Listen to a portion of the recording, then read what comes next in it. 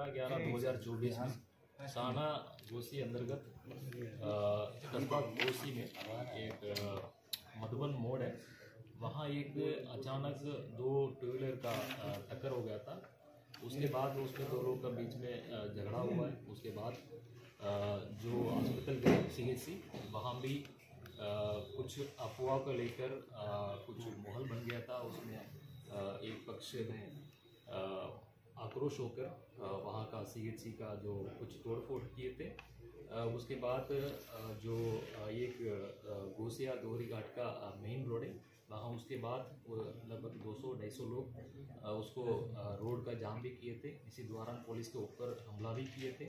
इसमें आठ, दस लोग पुलिस वाले के घायल भी हुए थे। उसके बाद तीन गाड़ी भी पुलिस गाड़ी भी डैमेज हुआ था। इसी को लेकर पुलिस ने तुरंत जो भी जो जिसका चोट लगाया था उनके माता जी का जो अप्लीकेशन पर पुलिस ने एक तीन लोग एक नामजद और दो अज्ञात लोगों के खिलाफ मुकदमा लिखा गया था।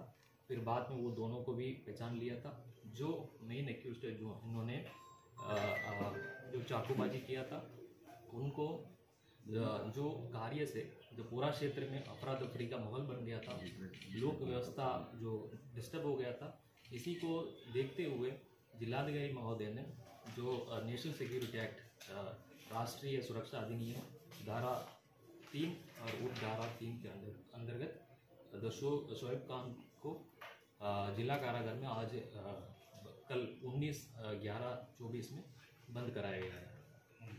एनएसए लगा मतलब? हाँ नेशनल सिक्योरिटी एक्ट का जो धारा लगाया गया उनको डिटेंशन किया गया सर क्या लगता है कोई बड़ी घटना को अंजाम देना चाहता था आरोपी? जी जो भी जो शोएब खान है उनका कार्य से जो जो भी कार्य उन्होंने किया है उसी से जो पूरा क्षेत्र में जनजीवन विचलित हो गया गया और अफरा दफरी का माहौल बन गया था लोक व्यवस्था छिन्न भिन्न हो गया था। इसी को लेकर जो धारा जो नेशनल सिक्योरिटी एक्ट का अप्लाई किया गया है वो अभी